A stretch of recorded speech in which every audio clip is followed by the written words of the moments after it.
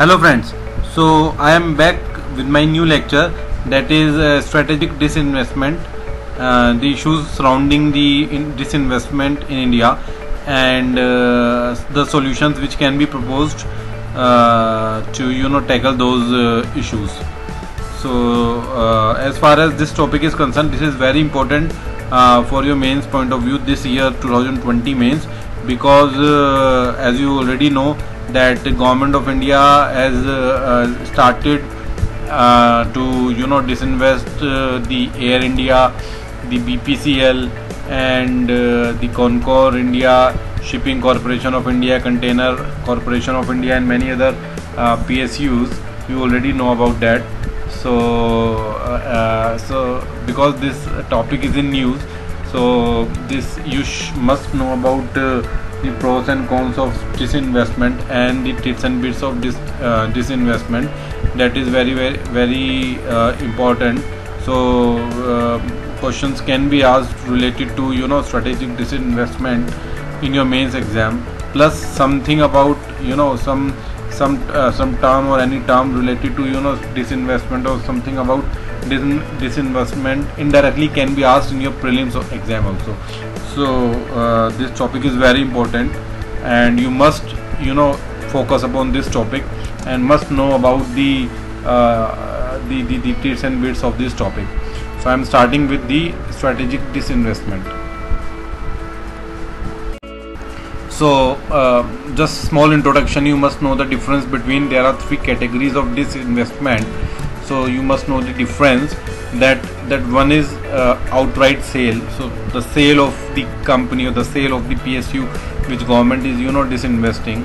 So outright sale means 100% you are you know uh, you are you are you are uh, privatizing or you are uh, selling it to the private company so hundred percent आपने बेच दी। Second is the disinvestment so that is basically disinvestment you can term is at simple disinvestment और you can say it as partial disinvestment also so in this case of disinvestment the government sells share of the company ensuring that it did not fall below fifty one percent so that control control and management of the company remains with the government it तो इसका मतलब ये है कि आपको कुछ part of disinvestment करना है लेकिन इतना डिस इन्वेस्टमेंट करना है या इतना ही आपको बेचना है कि गवर्नमेंट का फिर भी कंट्रोल बना रहे उस कंपनी के ऊपर। और वो कैसे बना रहेगा?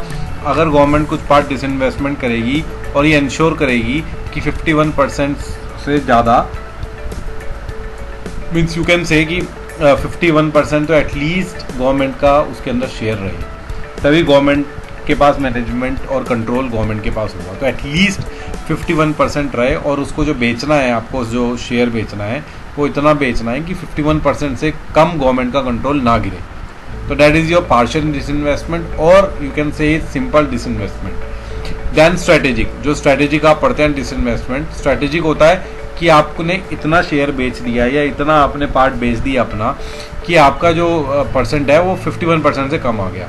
So that the part of the control control और management it passes to the private share holder so below 51 percent आपका शेयर आ गया, इतना आपने बेच दिया। तो इसमें भी स्ट्रेटेजिक में भी पार्शियल डिसइन्वेस्टमेंट होता है बट 51 परसेंट से नीचे आपका शेयर गिर गया। इसमें 51 परसेंट के अबव ही रहेगा, उसमें 51 परसेंट से नीचे गिर गया। So this is the difference between a simple disinvestment and strategic disinvestment now इसमें एक चीज़ और है ये लास्ट वाला पॉइंट बहुत इंपॉर्टेंट है। You should take a note of this point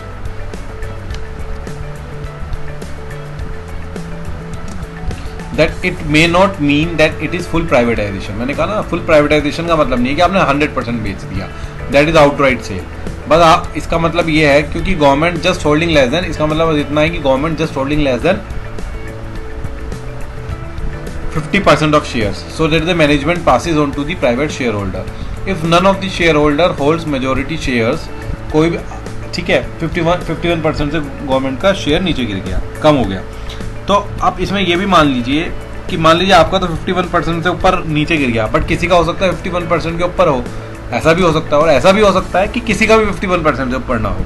तो इसमें हम बात कर रहे हैं कि if none of the share holder hold majority shares then in that case the decision needs to be taken on the basis of three fourth majority voting that means still government has a say in voting तो इस case में क्या होगा कि अगर मान लीजिए मान लीजिए तीन या चार इसके पार्टनर्स हैं और सबका आप मान लीजिए 25 25 25 परसेंट है। एक एक गवर्नमेंट है, उसका 25 परसेंट है, बाकी होगा 25 25 परसेंट है। तो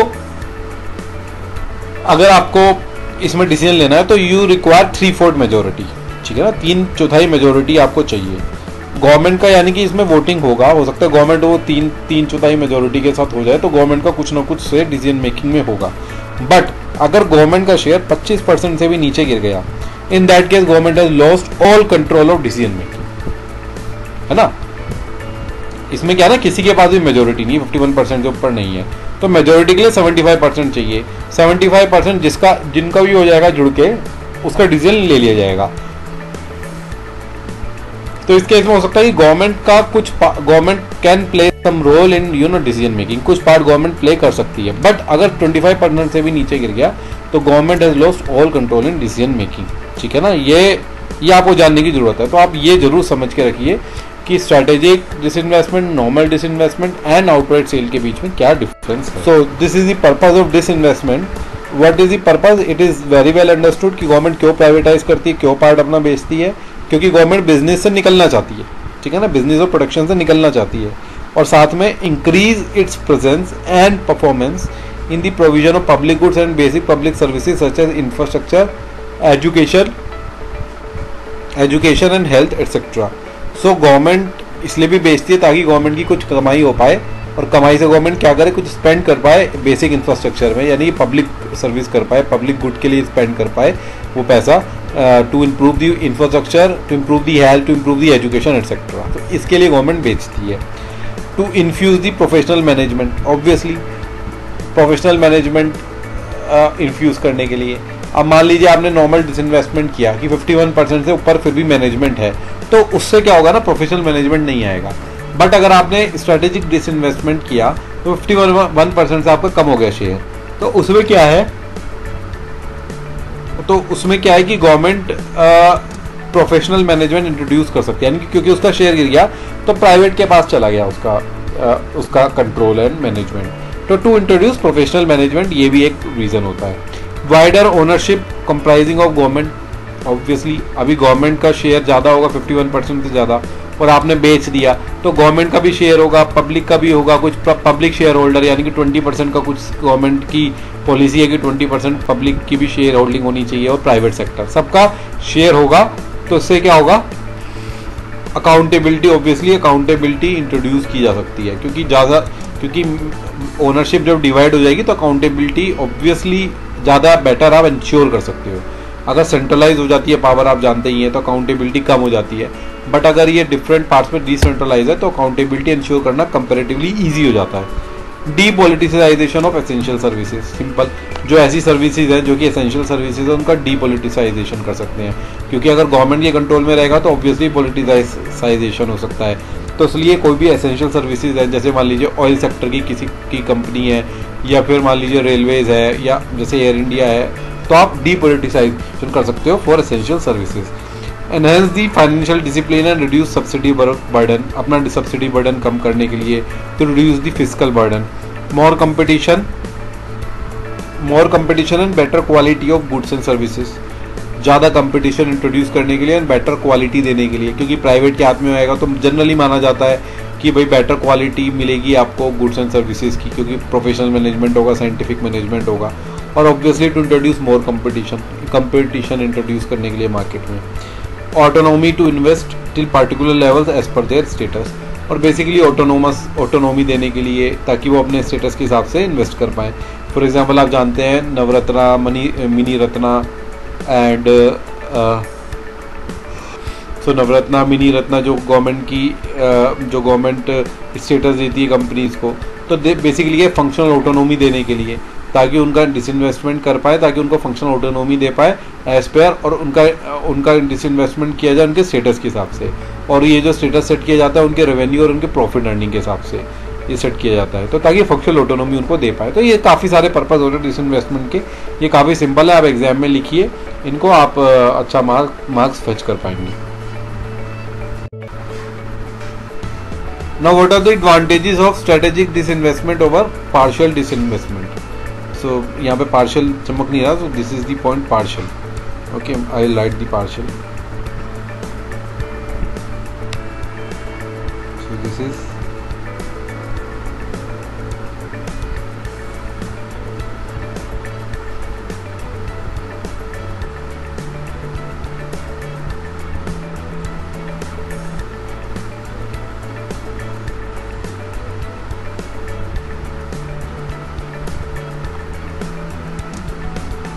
so, this is the partial disinvestment or normal disinvestment, you can say. So, the strategic disinvestment fetches better price as compared to partial disinvestment. Obviously, आप ज़्यादा बेचेंगे तो आपको ज़्यादा प्राइस मिलेगा। ठीक है ना? आपका शेयर होल्डिंग ही कम हो गया। मैनेजमेंट एंड कंट्रोल दूसरी जगह ट्रांसफ़र हो रहा है। तो ऑब्वियसली आपको पैसा ज़्यादा मिलेगा स्ट्रेटेजिक डिसइन्वेस्टमेंट में। तो एक बहुत बड़ा पर्पज़ ये है कि फैचेज बेटर प्राइस इसके अलावा if the government does not hold 51 percent share holding CAG audit is not necessary, and more flexibility is available to such companies. Such companies can be made to face competition from the private sector. तो basically क्या है, एक बहुत बड़ा purpose ये भी है कि अगर आप गवर्नमेंट कंपनी आप जानते हैं कि गवर्नमेंट कंपनी को कैग ऑडिट कराना होता है, ठीक है ना दैट इज़ कंपल्सरी बट अगर आपका शेयर होल्डिंग कम हो गया तो आप प्राइवेट के हाथ में मैनेजमेंट चला गया तो आप पर्सनल और प्राइवेट ऑडिट कंपनीज़ आप अपॉइंट कर सकते हैं फॉर योर ऑडिट तो CAG audit is not mandatory in that case तो इससे ज़्यादा फ्लेक्सिबिलिटी उनको मिलेगी to you know to keep their books and accounts as per you know their choice and so it can give more autonomy and more flexibility to them to work such companies can may can be made to face competition from the private sector obviously private sector से फिर competition होगा क्योंकि आपस में private companies होंगी वो करेंगी for better quality of goods and services government gets more revenue यही जैसे मैंने अभी बोला it gets more revenue so these are some of the advantages इसके अलावा और भी कुछ एडवांटेजेस आप जानते हैं स्ट्रेटेजिक का क्योंकि जो मैंने पर्पस बोला था that is the advantage only कि भाई स्ट्रेटेजिक डिसइन्वेस्टमेंट होगा तो गवर्नमेंट के हाथ से कंट्रोल जाएगा तो ऑब्वियसली प्रोफेशनल मैनेजमेंट होगा ऑब्वियसली गवर्नमेंट अपना फ़िज़िकल फिट कम कर पाएगी तो ये सब स्ट्रेटेजिक डिसइन्वेस्टमेंट के फ़ायदे हैं so what are the advantages of partial disinvestment और normal disinvestment uh strategic disinvestment तो पार्शल का क्या बेनिफिट है कि इन स्ट्रेटेजिक डिसइन्वेस्टमेंट आप जानते हैं कि आपको 51 परसेंट से कम करना है आपको stake of the government where you sell a hundred percent of majority stake in one go then the chances of getting the valuation right is lower as there is no price discovery process तो इसमें problem क्या होती है कि जो price discovery है ना, इसमें काफ़ी बैड होता है पुअर होता है। क्यों होता है? क्योंकि आपने एक साथ ही स्टेक बेच दिया अपना। ठीक है ना? At one in one go you are selling your entire stake so क्या होता है कि अगर मान लीजिए आपने अंडर वैल्यू कर दिया अपना स्टेक मतलब मान लीजिए गवर्नमेंट ना सौ रुपये में बेच दिया गवर्नमेंट ने फॉर एग्ज़ाम्पल अपना स्टेक और दो सौ में बेचना था। तो क्योंकि एक ही स्टेक में बिक दिया, एक ही बार में बेच दिया सारा तो गवर्नमेंट सौ रुपये के घाटे में गवर्नमेंट ने बेच दिया। लेकिन अगर पार्शल में क्या है कि आप आप थोड़ा थोड़ा थोड़ा थोड़ा करके बेचेंगे। तो मान लीजिए पहला अगर अंडर वैल्यूएशन हो गया, मान लीजिए पहला आपने सौ में बेच दिया जो कि दो सौ में बेचना था तो ठीक है आपको सौ रुपए का घाटा हो गया। बट जब आप दूसरा दोबारा बेचोगे ना, इसको इस तरीके समझ लीजिए मतलब पचास रुपये में बेच दिया और सौ रुपये में बेचना था तो ठीक है आपको पचास रुपये का घाटा हो गया। लेकिन अगला जब बेचोगे ना, क्योंकि उससे पहले आपकी प्राइस डिस्कवरी प्रॉपर हो चुकी होगी तो आप अगला ना सौ में ही बेचोगे, जो कि सौ में बिकना था। तो आपको यहाँ पे वो घाटा, आपने दो सौ रुपये का सामान बेचा, बस पचास रुपये का घाटा हुआ। उसमें आपको सौ रुपये का घाटा हुआ। तो ऑब्वियसली इसमें घाटा आपका कम है। तो पार्शियल इन्वेस्टमेंट का ये फ़ायदा है कि इसमें प्राइस डिस्कवरी बेटर होती है। So where is with this disinvestment where we unload in tranches यानी कि आप स्टेप बाई स्टेप आप चले हैं there is a better chance of price discovery over time the first tranche may be under value but once it is listed and performance improve government can realise better valuation और साथ में better valuation भी government realise कर सकती है, अगर performance better हो जाती है तो कंपनी की। This is why contrary to popular perception in the country a vast majority privatisation sales the world over have happen through a share issue privatisation तो ये मान, ये समझ लीजिए कि वर्ल्ड ओवर जो डिसइन्वेस्टमेंट होता है ना, वो आउटराइट सेल नहीं होता है। वर्ल्ड ओवर जो होता है, वो शेयर इशू प्राइवेटाइजेशन होता है। यानी कि आप कुछ शेयर्स निकाल देते हैं और वो शेयर जो है कुछ पार्ट होता है कंपनी का, जो कि आप शेयर के रूप में निकालते हैं मार्केट में और वो पार्ट डिसइन्वेस्टमेंट हो जाता है। Disinvesting partial stakes as oppose to asset sales what we call strategy asset sales के बजाय शेयर इशू प्राइवेटाइजेशन होता है वर्ल्ड ओवर तो इसी इसी वजह से। ठीक है? बट हमारी गवर्नमेंट ऑब्वियसली आप जानते हैं स्ट्रेटेजिक डिसइन्वेस्टमेंट में ज़्यादा फोकस कर रही है। ठीक है, अब ये टाइमलाइन थोड़ा सा डिसइन्वेस्टमेंट का इंडिया में समझ लीजिए। आप जानते हैं 1991 में स्टार्ट हुआ था। Manmohan Singh as finance minister in PV Narasimha Rao government initiated the policy of liberalisation in India in which it was mostly disinvestment जहाँ पे कौन सा डिसइन्वेस्टमेंट हुआ where minority stakes are sold जहाँ पे कुछ कुछ पार्ट वो जो नॉर्मल डिसइन्वेस्टमेंट की बात करें are sold to private parties just to introduce efficiency, reducing government on burden on government finances, and to make inefficient and sick PSUs competitive. और इनएफिशिएंट और sick P C S PSUs को competitive बनाना है efficiency introduce करनी है and reducing burden on government finances ये एक purpose था जिसकी वजह से डिसइन्वेस्टमेंट नाइनटीन वन में मनमोहन सिंह के द्वारा as a finance minister in P V Narasimha Rao government launch किया गया नाउ 2000 में आप जानते हैं, अटल बिहारी वाजपेयी के टाइम पे तो एक अलग ही एक मिनिस्ट्री थी ministry of disinvestment the initial year start strategic इसके टाइम पे स्टार्ट हुआ strategic disinvestment initially initial years में. For example V S N L BALCO Hindustan जी इनका जो है डिसइन्वेस्टमेंट हुआ. In later years focus on sick और लेटर ईयर्स में क्या हुआ? फोकस चला गया sick and loss making companies में to be made competitive by introducing more functional autonomy etcetera जैसे महारत्ना, नवरत्ना मिनी रत्ना समझ रहे हैं? आप ये सब स्टेटस दिए गए। तो ये सब अटल बिहारी वाजपेयी के टाइम पे ही इंट्रोड्यूस किए गए थे। तो लेटर ईयर पे स्टार्टिंग में तो ऑब्वियसली अटल बिहारी वाजपेयी गवर्नमेंट में ध्यान था कि स्ट्रेटेजिक डिसइन्वेस्टमेंट हो। काफ़ी मतलब आपका एसेट सेल हो गया 100 परसेंट या फिर इतना स्टेक बेच दिया कि 100 परसेंट फिफ्टी परसेंट से कम हो गया। लेकिन बाद में केवल sick and loss making P पे ही गवर्नमेंट ने फोकस किया और उन्हीं का ही स्ट्रेटेजिक डिसइन्वेस्टमेंट किया और वो क्यों किया? ताकि उनको फंक्शनल ऑटोनोमी दी जा सके। ज़्यादातर को तो फंक्शनल ऑटोनोमी दी गई, कुछों को तो और कुछों को बेचा भी। लेकिन वो बेचा इतना कि 100 परसेंट आउटराइट सेल नहीं हुई 51 परसेंट से कम किया गया स्ट्रेटेजिक सेल हुई, ताकि वो लॉस मेकिंग को प्रॉफिट मेकिंग में कन्वर्ट किया जा सके। तो ये 2000 में थोड़ी सी पॉलिसी में गवर्नमेंट की चेंज आया। आफ्टर 2015 टारगेटेड डिसइन्वेस्टमेंट हुआ। That is more focus on strategic disinvestment ज़्यादा फोकस नरेंद्र मोदी गवर्नमेंट में स्ट्रेटेजिक डिसइन्वेस्टमेंट में हुआ। Physical burden and deficit also plays major role in disinvestment तो यहाँ पे क्या हुआ? Physical burden and you know the deficit जो फ़िज़िकल डेफिसिट है, उसको कम करने पे भी जोड़ दिया गया डिसइन्वेस्टमेंट के द्वारा कि गवर्नमेंट अपना बर्डन कम करे गवर्नमेंट फाइनेंसिस पे और उनको बेच के जो कमाई हो, उससे फ़िज़िकल डेफिसिट कम किया जा सके तो गवर्नमेंट का फोकस रहा। तो इस तरीके से टाइमलाइन ऑफ़ डिसइन्वेस्टमेंट अगर आपसे पूछा जाए तो आपको समझ लेना चाहिए कि स्टार्टिंग में क्या हुआ मनमोहन सिंह के टाइम पे कि इन्होंने केवल डिसइन्वेस्टमेंट की पॉलिसी अपनाई, केवल गवर्नमेंट बर्डन को कम करना है इनएफिशिएंसी और सिक लॉस मेकिंग को कम करना है, कुछ पार्ट माइनॉरिटी स्टेक्स बेचे गए। अटल बिहारी वाजपेयी के टाइम पे स्ट्रेटेजिक डिसइन्वेस्टमेंट हुआ, लेकिन उसके बाद उनका जो है फंक्शनल ऑटोनॉमी देने की बात हुई। महारत्ना मिनी रत्ना और नवरत्ना स्टेटस के द्वारा और लेकिन नरेंद्र मोदी के टाइम पे स्ट्रेटेजिक डिसइन्वेस्टमेंट आउटराइट नीति अपनाई गई ताकि आ, मतलब आप समझ लीजिए ताकि जो है बर्डन फाइनेंसिस पे कम किया जा सके फ़िज़िकल डेफिसिट को कम किया जा सके ये नीति अपनाई। तो ये this is the timeline of disinvestment in India no what are the changes in disinvestment policy as per the recent amendments कुछ रिसेंट अमेंडमेंट्स हुए हैं जो मैंने अभी बात की है डिसइन्वेस्टमेंट पॉलिसी में। कुछ अमेंडमेंट्स हुए हैं, कुछ चेंजेस हुए हैं। क्या हुए हैं? Strategic sector non strategic sector में डिवीज़न हो गया। स्ट्रेटेजिक सेक्टर ऐसा सेक्टर है जो कि बहुत इंपॉर्टेंट है गवर्नमेंट के लिए। जैसे डिफेंस है रेलवेज है एटॉमिक है, जहाँ पे डिसइन्वेस्टमेंट करना सिक्योरिटी एंड सेफ्टी के लिए वनरेबल हो सकता है। इस वजह से उन सेक्टर्स को आइडेंटिफाई किया गया और उनमें कोई डिसइन्वेस्टमेंट नहीं करने की कोशिश की गई। डिफेंस में, रेलवेज में एंड एटॉमिक में।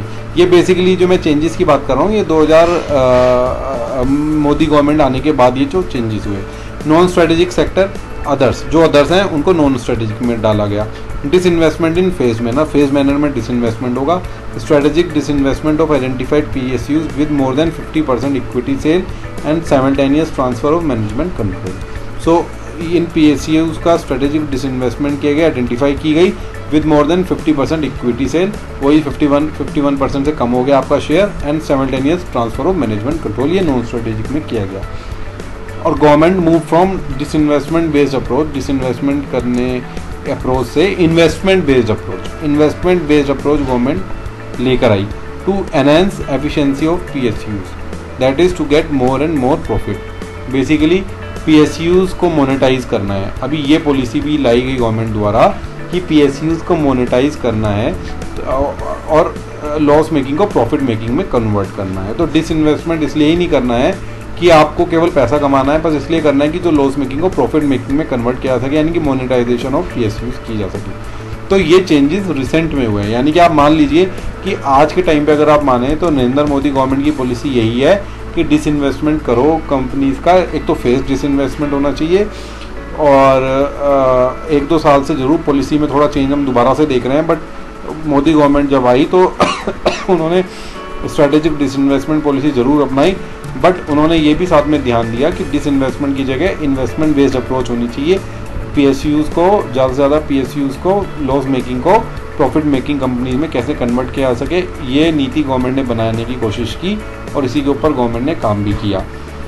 अभी आप एक दो साल से देख रहे हैं जैसे एयर इंडिया जो कि हाईएस्ट लॉस मेकिंग कंपनी है आ, या फिर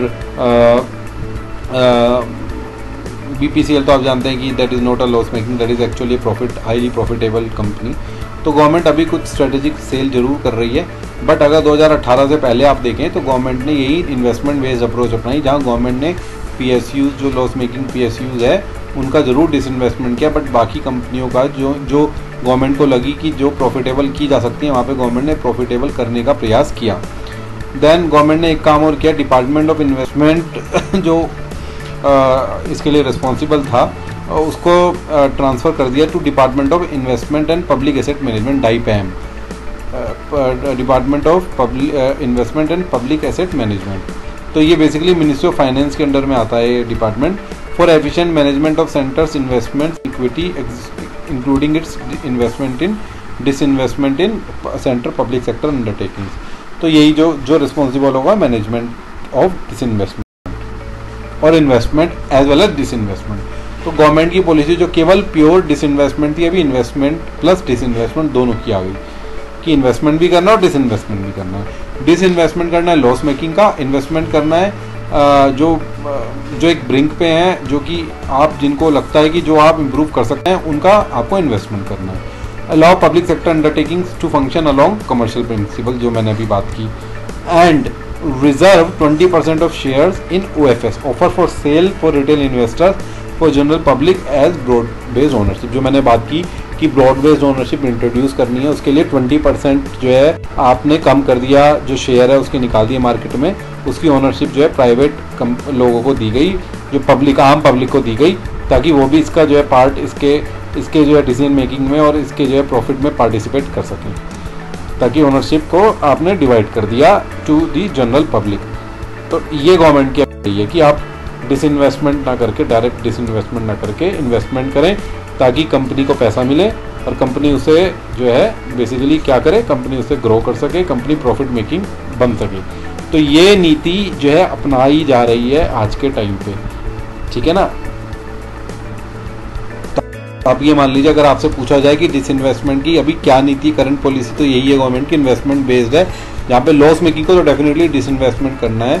और ग्रेजुअल ये जो 20 परसेंट का मैंने ऑफसेट सेल बोला, जिसमें शेयर्स आप इंट्रोड्यूस कर रहे हैं मार्केट में, ताकि कंपनी के पास पैसा आए जनरल पब्लिक का, और कंपनी उसको लगा के company profitable company investment based approach जहाँ पे ब्रॉड ओनरशिप देनी है और allow public sector undertakings to function along commercial principles ये गवर्नमेंट की नई पॉलिसी है। ये चेंजेस गवर्नमेंट ने डिसइन्वेस्टमेंट पॉलिसी में किए हैं, जो कि पहले अटल बिहारी वाजपेयी के गवर्नमेंट के टाइम पे ऐसा नहीं था, कम ऐसा नहीं था। अभी मोदी गवर्नमेंट के टाइम पे इस टाइप की ओनरशिप हो रही है। यूपी के टाइम पे भी यही थी। मोदी गवर्नमेंट के टाइम पे थोड़ा ज़्यादा अभी डिसइन्वेस्टमेंट हो रहा है। बट यूपीए गवर्नमेंट के टाइम पे भी ये इन्वेस्टमेंट बेस्ड अप्रोच थी और मोदी गवर्नमेंट के टाइम पे भी ये इन्वेस्टमेंट बेस्ड अप्रोच है। ठीक है ना? इन्वेस्टमेंट बेस्ड अप्रोच की, जैसे मैंने बात की time bound listing of CPSUs share निकालने आपको मार्केट में लिस्टिंग करनी है to promote the retail investors retail investors को प्रमोट करना है through index based E T F that is exchange traded fund ये कुछ नहीं E T F is just a E T F एक शेयर ही मान लीजिए, इनकी शेयर्स निकाले गए मार्केट में, ताकि उनको जो है ना, लोग जो है खरीद सके और उसके ऊपर इन्वेस्टमेंट कर सकें। Like Bharat twenty two, Bharat twenty two, ये प्रीलिम्स में भी आया था सवाल। तो ये कुछ नहीं है ETF है। बारह ट्वेंटी टू में ट्वेंटी टू कंपनियों के शेयर्स हैं और बाईस कंपनियों के शेयर आपने मार्केट में निकाल दिए ताकि पैसा मार्केट से ले, लेके कंपनी को चला जा सके प्रॉफिटेबल किया जा सके। To have more and more public financing C P S to to free government from business and profit from P S U to be distributed to share holders obviously ये सब approach है investment का। अब disinvestment के against कुछ arguments हैं जो हमें समझने चाहिए। एक तो इनिशियली आप जानते हैं कि जब हम डिफ़िकल्ट सिचुएशन में थे तो पीएसयू ने हमें रेस्क्यू किया है हमेशा। आप जानते हैं ये जो सारी पहले तो सारा ही आ, हमारा जो है ना सारा जो है नेशनलाइज था। सारी पी वगैरह इवन बैंक्स तो बाद में नेशनलाइज हुए थे बट पी हमारी पहले से नेशनलाइज हैं। तो P S have rescued us by transferring ownership whatever we build by public taxes profit will be enjoyed by the private sector as the cost of public money तो इसका एक disadvantage ये है कि खड़ा तो हमने किया है अपने पैसों से। बट अब प्रॉफिट अगर आप बेच दोगे प्राइवेट को तो जो भी प्राइवेट कंपनियाँ इसका पैसा प्रॉफिट प्राइवेट कंपनी उठाएँगी। तो बनाया आपने, जितनी मेहनत आपने की बट प्रॉफिट इसको प्राइवेट कंपनी लेगी। तो एक डिस एक डिसएडवांटेज ये है। ये एक जनरल डिसएडवांटेज है। There is no hundred percent set formula that that disinvesting a P S U will turn it into profitable company कोई एक सेट फॉर्मूला तो है नहीं कि प्रॉफिटेबल हो जाएगा, ज़रूरी नहीं है। तो ये एक डिसइन्वेस्टमेंट का अगेंस्ट एक आर्गूमेंट बोला जाता है। Build by tax payers money often in those areas where private sector was not often ready काफ़ी जगह जहाँ पे प्राइवेट सेक्टर नहीं जाना चाहता वहाँ पे पी एस बनाई गई है टैक्स पेयर मनी यूज़ करके टू गो ड्यू टू इससे अगर आप बेचोगे तो सारा ये जो खत्म हो जाएगी company due to high initial risk should not be transferred on when they are become profitable तो अब जब प्रॉफिटेबल हो गई हैं, आप उन्हें बेच रहे हैं तो सही नहीं है, क्योंकि अगर आप बेच देंगे और हो सकता है वहाँ पे अगर नुकसान हो जाए किसी प्राइवेट ओनर को तो वो बेच के चला जाए या वो ख़त्म करके चला जाए। तो गवर्नमेंट को ऐसी जगह जहाँ पे ऐसे ऐसे ऐसे एरियाज़ हैं जहाँ पे प्राइवेट सेक्टर नहीं जाना चाहता, उन एरियाज़ में तो एटलीस्ट गवर्नमेंट को इंश्योर करना चाहिए कि वहाँ पे government run P S Us they continue to function then the social objective of formal jobs need based goods providing level playing field will be compromise तो अगर आप डिसइन्वेस्टमेंट करेंगे तो जो जॉब्स हैं need based goods and providing level playing field will be compromise obviously जो government का social objective रहता है to create more and more jobs क्योंकि अगर आप प्राइवेट के हाथ में देंगे तो ज़्यादा से ज़्यादा ऑटोमेशन करने की कोशिश कर सकते हैं। तो जो फॉर्मल जॉब्स हैं और जो नीड बेस्ड गुड्स हैं, जो जो ऐसे गुड्स हैं जो कि गवर्नमेंट मैनुफैक्चर करती है अभी नीड बेस पे, क्योंकि पी एस का गवर्नमेंट पी एस का तो नहीं है मोटर प्रॉफिट बट प्राइवेट का तो मोटर प्रॉफिट ही होगा। तो ऐसे गुड जो कि नीड बेस्ड होंगे या providing level playing field to all people तो प्रोवाइडिंग लेवल प्लेइंग फ़ील्ड भी नहीं मिलेगी क्योंकि प्राइवेट सेक्टर आप जानते हैं कंपटीशन उस पर प्रॉफिट पे आधारित है तो लेवल प्लेइंग फ़ील्ड भी नहीं मिलेगी जॉब्स भी हो सकता है, कम हो जाए तो ये जो ऑब्जेक्टिव है गवर्नमेंट का, ये कहीं ना कहीं कंप्रोमाइज़ हो जाएगा। Disinvestment is not going to benefit enterprise itself as the proceeds are just use to reduce the fiscal deficit obviously disinvestment करके गवर्नमेंट जो पैसा कमाएगी, वो फ़िज़िकल डेफिजिट कम करने के लिए यूज़ हो सकता है, बजाय इसके कि वो इंफ्रास्ट्रक्चर एजुकेशन हेल्थ पे खर्च करे। The unfavourable market condition have resulted into a very low disinvestment proceeds है ना? पैसा कम मिलेगा प्राइवेट से। प्राइवेट कम पैसा देगी। Issues of misutilisation of natural resources private के हाथ में अगर आप नेचुरल रिसोर्सेज बेच देंगे, जैसे नेचुरल डिफेंस वगैरह या कोई भी ऐसा सेक्टर या रेलवे बेच देंगे तो नेचुरल रिसोर्सेज अगर आप बेच देंगे तो उसका मिस यूटिलाइजेशन हो सकता है। ठीक है ना? ये एक एक इशू माना जाता है। समझा जाता है। डिसइन्वेस्टमेंट का एक बहुत बड़ा सेटबैक है। क्योंकि आप जानते हैं कि जो भी ऐसी फील्ड्स हैं जो कि नेचुरल रिसोर्सेज की, जैसे माइनिंग वगैरह हैं तो वहाँ पे मिस यूटिलाइजेशन हो सकता है अपने मोटो एंड प्रॉफिट के लिए। By giving up substantial future rights over these firm अगर गवर्नमेंट अपना अपना राइट बेच देगी इन फर्म्स के ऊपर central lose earnings and dividend pay out which result in क्योंकि जो गवर्नमेंट को अर्निंग होती है या डिविडेंड पे आउट जो मिलते हैं गवर्नमेंट को ईयरली वो मिलने बंद हो जाएँगे, जिसकी वजह से वन टाइम तो ज़रूर आपको पैसा मिल गया but substantial over the year जो अपॉर्चुनिटी कॉस्ट है इस चेकर को वो कम मिलेगी, यानी कि वो कंप्रोमाइज़ हो जाएगी, वो कम हो जाएगी। तो ये डेफिनेटली ये सब जो प्रॉब्लम्स हैं, ये डिसइन्वेस्टमेंट के अगेंस्ट ये पॉइंट जाते हैं, जिस पर डेफिनेटली गवर्नमेंट को ध्यान देने की ज़रूरत है। अब what should be the disinvestment policy so what should be the disinvestment policy PSU monitor, क्या डिसइन्वेस्टमेंट पॉलिसी होनी चाहिए? ऑब्वियसली मैंने जैसे बात की, जो मोदी गवर्नमेंट कर भी रही है कि पीएसयू मोनिटाइजेशन होना चाहिए कि ज़्यादा ज़्यादा पैसा पी को मिलना चाहिए। It should be the priority और गवर्नमेंट इस पर डेफिनेटली प्रायोरिटी दे भी रही है। Strategic interest of the government in priority sector must be defined first strategic obviously जो स्ट्रेटेजिक सेक्टर्स हैं नॉन स्ट्रेटेजिक सेक्टर ये क्लियरली डिमार्केट होने चाहिए और गवर्नमेंट इस पर इस पर काम करे, इस पर डिफाइन करे कि कौन से ऐसे सेक्टर्स हैं जहाँ पे जो कि प्रायोरिटी सेक्टर्स हैं स्ट्रेटेजिक सेक्टर्स हैं, वहाँ पे उन पी को डेफिनेटली प्राइवेट नहीं करना चाहिए। ऐसे इंटरेस्ट गवर्नमेंट जो है strategic interest government must define transparency in the strategic sale process and time bound obviously transparency होनी चाहिए स्ट्रेटेजिक सेल में time bound option of valuable assets भी मिनिमम रिज़र्व प्राइस एक मिनिमम रिज़र्व प्राइस होना चाहिए, जैसे मैंने बोला कि प्राइस डिस्कवरी बहुत पुअर होती है स्ट्रेटेजिक डिसइन्वेस्टमेंट में तो ऑब्वियसली मिनिमम रिज़र्व प्राइस होना चाहिए। ताकि और टाइम बाउंड ऑप्शन होना चाहिए और मिनिमम रिज़र्व प्राइस होना चाहिए ताकि उससे कम तो डेफिनेटली गवर्नमेंट ना बेच सके। A third party valuation of every P S U assets precondition of minimum numbers of bidders so third party valuation होनी चाहिए पी एस यू एसेट्स की। उसके बाद ही गवर्नमेंट जो है आगे बढ़े आ, किसी भी कंपनी को बेचने के लिए। For ensuring efficient market conditions the regulatory framework must be strengthen तो रेगुलेटरी जो फ्रेमवर्क है किसी भी कंपनी के ऊपर जो रेगुलेशन गवर्नमेंट रखती है, जैसे सेबी है, ट्राई है, आपका एडा है जो भी रेगुलेटरी कंपनीज़ हैं रेगुलेटरी बॉडीज़ हैं सॉरी वो जो है, किसी सेक्टर में रेगुलेट करती हैं, इसी तरीके से मार्केट कंडीशन को एफिशिएंटली रन करने के लिए रेगुलेटरी फ्रेमवर्क को स्ट्रेंथन करना पड़ेगा। This a need for breaking the oligopolistic environment for new players so जो ओलिगो पॉलिस्टिक एनवायरमेंट है ना, जैसे जिसमें क्या होता है, कुछ ही कंपनीज़ के बाद सारा मोनोपली है या वही कंपनी जो है रन कर रही है उस पर्टिकुलर सेक्टर को तो वो उसको ब्रेक करने की ज़रूरत है। वो ब्रेक तभी होगा जब प्रॉपर रेगुलेशन होगा और ज़्यादा से ज़्यादा कंपटीशन जो है मार्केट में इंट्रोड्यूस होगा। तो रेगुलेशन क्या होगा? एक रेगुलेटरी बॉडी हर सेक्टर में गवर्नमेंट को रखनी चाहिए। बजाय इसके कि गवर्नमेंट बिज़नेस करे पी को जो है डिसइन्वेस्टमेंट ऑब्वियसली गवर्नमेंट कर सकती है, जैसे एयर इंडिया कर रही है।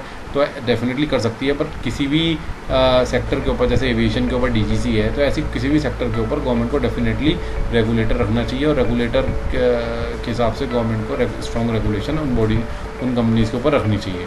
Entities can be made economically viable as an investors can infuse capital upgrade technology through professional management ठीक है ना? ये माना जाता है कि ऑब्वियसली प्रोफेशनल मैनेजमेंट के थ्रू कैपिटल टेक्नोलॉजी इंप्रूवेट की जा सकती है। For example takeover of Hindustan Zinc in by Vedanta ये अटल बिहारी वाजपेयी गवर्नमेंट के टाइम पे वेदांता ने हिंदुस्तान जिंक को टेक ओवर किया था। So it increase its profits hundred four तो ये देखा गया है तो ज़रूरी नहीं है कि डिसइन्वेस्टमेंट का यही है कि भाई वो प्रॉफिटेबल नहीं हो सकती।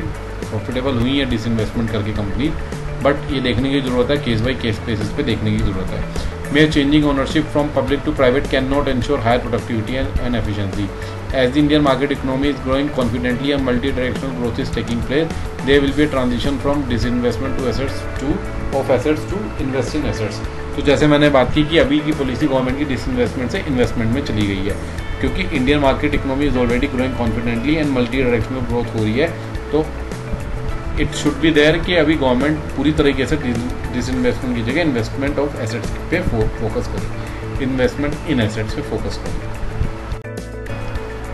Now what should be the way forward as per NITI Aayog जो मैंने इसकी पहले ही बात कर ली है the strategic disinvestment should be done only in those areas where private sector is sufficiently present and monopoly thus the chances of monopoly can be avoided so ऐसे तो नीति आयोग कह रहा है कि ऐसे एरियाज़ में डिसइन्वेस्टमेंट आपको स्ट्रेटेजी करना होगा, जहाँ पे ऑलरेडी प्राइवेट सेक्टर मात्रा में प्रेजेंट है, ताकि अगर आप सफिशेंटली प्रेजेंट क्योंकि अगर प्राइवेट सेक्टर प्रेजेंट नहीं होगा तो फिर ऑब्वियसली प्रॉब्लम हो सकती है, उस सेक्टर में जो है ना प्राइवेट सेक्टर जो पर्टिकुलर प्राइवेट सेक्टर मोनोपोली कर सकता है। तो अगर लार्ज अमाउंट में नंबर में प्राइवेट सेक्टर प्रेजेंट होगा तो अगर एक और आप कंपनी प्राइवेटाइज कर देंगे तो ऑब्वियसली मोनोपोली के चांस कम होंगे। जैसे एयर इंडिया जैसे आप जानते हैं एविएशन सेक्टर में ऑलरेडी इंडिगो है, आपकी एयर इंडिया आपकी जो है गो एयर है, और भी आपकी टाटा की भी है, और जो भी एयरलाइंस हैं, जो भी अलग अलग एयरलाइंस हैं स्पाइस जेट है, ठीक है ना, जो भी एयरलाइंस हैं जो कि प्राइवेट एयरलाइंस हैं तो ऑब्वियसली किसी भी सेक्टर में अगर, अब जैसे रेलवेज है रेलवेज में अगर आप प्राइवेटाइज कर देंगे तो रेलवेज है ही नहीं प्राइवेट में तो इसको प्राइवेटाइज कर देंगे तो बहुत प्रॉब्लम हो सकती है। तो ऐसे सेक्टर को प्राइवेटाइज नीति आयोग ने बोला करने के लिए, जहाँ पे ऑलरेडी प्राइवेट सेक्टर में ऑलरेडी प्राइवेट सेक्टर प्रेजेंट है उस सेक्टर में। इसके अलावा the government should diverse majority share in those companies which do not deal with public जो पब्लिक के साथ डील नहीं करती, उनके साथ, उनमें डिसइन्वेस्टमेंट करना चाहिए। Asset such as excess land with P S U जो अब करना क्या चाहिए? करना ये चाहिए कि बजाय इसके कि आपने आउटराइट सेल कर दिया डिसइन्वेस्टमेंट कर दिया एक्सेस लैंड जो पी एस यू के पास है ना it should be given away it should be selled so that the sold so that the private sector can use it efficiently for other purposes ठीक है ना? अभी जो पड़ी है फालतू की लैंड वो बेचनी चाहिए ताकि वो एफिशिएंटली यूज़ करके अपने लिए इस्तेमाल की जा सके। It all it's also made it clear that a regulatory mechanism was a prerequisite to promote जैसे मैंने बोला to promote healthy competition and protect the interest of all stakeholders तो एक रेलवेज में भी एक आपको अगर आप प्राइवेटाइजेशन करना चाहते हैं रेलवेज में तो आपको एक रेगुलेटरी मैकेनिज्म रेलवेज के ऊपर बैठाना पड़ेगा ताकि प्राइस वगैरह और interest of stakeholders protect रहें और प्राइस वगैरह एक एक प्रॉपर एक एक एक एक रेट एक एक लिमिट में ताकि वो एक्सीड ना करें और हेल्दी uh, कंपटीशन उस सेक्टर में रहे। Government should spend money on improving social indicator like education health जो मैंने बात की थी। हेल्थ एजुकेशन न्यूट्रिशन वगैरह, इन सब में स्पेंड करें इंफ्रास्ट्रक्चर में स्पेंड करें। Disinvestment changes from case to case basis rather than one shoe fit over for all approach ठीक है ना? ठीक है? So what what will be the way forward disinvestment proceed जो है ना, वो एन फंड में जाने चाहिए। ठीक है? National investment and infrastructure fund government ने 2005-6 में मनमोहन सिंह गवर्नमेंट ने इसकी सेटअप किया था। So disinvestment proceeds must be park in debt fund and then the proceed must be use in development of infrastructure in the country तो ये government को एक एग्जीक्यूटिव ऑर्डर निकालना चाहिए so that the disinvestment proceed must be park in that fund उसके अलावा private and public sector must work in synergy with each other they should not be there work should not be divorce from each other like जो railways है, जैसे railways में आप इतना ज़रूर कर सकते हैं कि जो बिल्ड एंड ओन है, वो गवर्नमेंट करे। ओन भी गवर्नमेंट करे बिल्ड भी गवर्नमेंट करे बट उसका ऑपरेशन गवर्नमेंट जो है प्राइवेट को दे सकती है। अभी जैसे गवर्नमेंट क्या कर रही है रेल वगैरह भी गवर्नमेंट जो है प्राइवेट को दे रही है। रेल नहीं देनी चाहिए रेल गवर्नमेंट अपने पास रखे ऑन करे बट उसकी जो रनिंग है सिग्नलिंग वगैरह है पार्ट और उसकी जो ट्रैक पे रनिंग है, वो गवर्नमेंट प्राइवेट को दे सकती है। सो प्राइवेट सेक्टर ऑपरेशन करे और मेंटेन करे तो ये प्राइवेट सेक्टर कर सकता है। जैसे ऑयल सेक्टर है तो ऑयल सेक्टर में क्या है ना तीन चीज़ें होती हैं। परचेजिंग होती है ऑयल की प्रोसेसिंग होती है और डिस्ट्रीब्यूशन होता है। तो डेफिनेटली जो परचेजिंग ये जो परचेजिंग है and processing and distribution definitely government ये जो ऑपरेशन है ना परचेजिंग प्रोसेसिंग एंड डिस्ट्रीब्यूशन ये गवर्नमेंट जो है प्राइवेट को दे सकती है। ऑयल सेक्टर ऑयल सेक्टर को, ठीक है ना? बट उसके अंदर जो जो ये जो ऑपरेशंस वाला पार्ट है, ये गवर्नमेंट दे सकती है। बट बट जो इंफ्रास्ट्रक्चर है, जैसे जो मशीन्स है जो प्रोसेस करती हैं, या जो भी इंफ्रास्ट्रक्चर बी पी का वो गवर्नमेंट अपने पास रखे। उसका ऑपरेशन गवर्नमेंट दे दे प्राइवेट को। ये ज़्यादा बेटर तरीका है वजह इसके कि पूरा का पूरा गवर्नमेंट बेच देती है। स्ट्रेटेजिक स्ट्रेटेजिक डिसइन्वेस्टमेंट कर रही है। तो और साथ में ये भी एक पॉइंट यहाँ पे है कि ownership is not a substitute for regulation ज़रूरी नहीं है कि नॉन प्रायोरिटी सेक्टर में institute of creating P S government should look in trending the regulatory framework regulation government strong करे. उसको ज़रूरी नहीं है कि वो company company non strategic sectors में गवर्नमेंट कंपनी अपने हाथ में रखे, वो बेच सकती है कंपनी बट कोई ना कोई रेगुलेशन गवर्नमेंट की ज़रूरत है उस सेक्टर पे. जैसे गवर्नमेंट ने अभी पूरा फ्री कर दिया मार्केट के ऊपर कर दिया जो प्राइस है. डेफिनेटली कोई रेगुलेटरी ज़रूर होना चाहिए रेगुलेशन कि प्राइस को रेगुलेट कर सके। That ensures efficient market conditions. Now conclusion. So what what is the conclusion? PSUs are a necessity in areas. You, आप जानते हैं स्ट्रेटेजिक सेक्टर्स में प्रायोरिटी सेक्टर्स में वे government as a natural monopoly like railways natural resources वाली चीज़ जैसे mining वगैरह metro rail utilities और sensitive areas like satellite nuclear power and where private sector is not keen to invest like public health in rural areas इन सब में तो P government को ही काम करने की ज़रूरत है, जो ऐसे सेंसिटिव हैं स्ट्रेटेजिक सेक्टर्स हैं माइनिंग वगैरह, जो नेचुरल सेक्टर्स रिलेटेड हैं, जो हमारे सारे जो कोल माइन जो हमारे जो आयरन और माइन गोल्ड माइन के जो नेचुरल रिसोर्स हैं हमारे तो यहाँ पे ऑब्वियसली गवर्नमेंट जो है अपने हाथ में इन सेक्टर्स को रखे। क्योंकि P S Us necessity necessity है P S Us the disinvestment commission under G V Ramakrishna के अंडर में जो डिस इन्वेस्टमेंट कमीशन है इसने बोला था was very clear that privatisation should be for strengthening the public sector privatisation ये नहीं कि आपने सब कुछ प्राइवेट कर दिया it should be for strengthening the public sector so they ruled out privatisation of core industries and highly profitable PSU ये rule कर दिया उन्होंने रूल आउट कर दिया कि आप highly profitable P S Us और कोर इंडस्ट्रीज़ को प्राइवेटाइज करें। And they also set the proceed should be for restructuring और जो भी ऐसी कंपनीज़ है जो कि लॉस मेकिंग कंपनीज़ है, उनको अगर आप प्राइवेटाइज कर भी रहे हैं तो उनका पैसा should be use for restructuring other P S Us और स्पेंडिंग ऑन इंफ्रास्ट्रक्चर जो इंफ्रास्ट्रक्चर में यूज़ हो, या for strengthening restructuring other P S Us the receipt should not be use for the government's revenue expenditure government revenue expenditure पे खर्च ना करे salary वगैरह देने पे गवर्नमेंट उस पैसे को खर्च ना करे, या फ़िज़िकल डेफिसिट खत्म करने पे गवर्नमेंट उसको खर्च ना करे। Clear cut philosophy of the disinvestment should be charted out by the government philosophy निकालनी चार्ट डाउन करनी चाहिए गवर्नमेंट को डिस इन्वेस्टमेंट की so that public and private sector should coexist in synergy with each other rather than one superseding the other ठीक है ना? It also means that judicial balance between labour welfare भी होना चाहिए social agenda भी government follow करे and economic logic भी होना चाहिए। पैसा भी गवर्नमेंट कमाए। यानी कि सारे बेनिफिट गवर्नमेंट देखे शुड बी मेंटेन जो बैलेंस है इनके बीच में, ये लास्ट पॉइंट है it should be maintained at all cost labour welfare भी होनी चाहिए सोशल एजेंडा भी गवर्नमेंट फॉलो करे क्योंकि गवर्नमेंट का यही मैंडेट है उसके अलावा इकोनॉमिक एक्टिविटी को भी गवर्नमेंट ध्यान में रखे। सो so, इस तरीके से फिलोसफी गवर्नमेंट को डिसइन्वेस्टमेंट की चार्ट डाउन करनी चाहिए।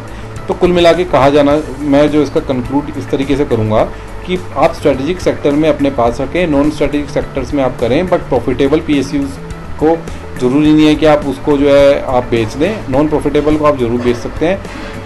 बट ऐसे जो पी हैं, जिनको बिना बेचे काम चल सकता है, यानी कि जो प्रॉफिटेबल किए जा सकते हैं, उनको प्रॉफिटेबल करने पे ज़ोर देना चाहिए और नॉन प्रॉफिटेबल पी यानी जो लॉस मेकिंग उनको बेचें तो उसका पैसा आप प्रोसीड्स एन फंड में डालें और साथ में it should be use in restructuring other P S Us also तो ये सब चीज़ें हैं जो कि गवर्नमेंट को फॉलो कीजिए ठीक है ना? So with this I end my lecture अगर आपको मेरा लेक्चर अच्छा लगा तो इसको लाइक करें, मेरे चैनल को सब्सक्राइब करें और बेल आइकन ज़रूर प्रेस करें, जिससे आपको नोटिफिकेशंस मिले और इसके बाद मैं नेक्स्ट लेक्चर लेकर आपके सामने आऊँगा। Maybe I take some water crisis कोई वाटर क्राइसिस या एनर्जी क्राइसिस के ऊपर मैं कुछ क्राइसिस ऑफ़ एनर्जी के ऊपर मैं कुछ एनर्जी वगैरह के ऊपर कुछ मैं बात करूँगा।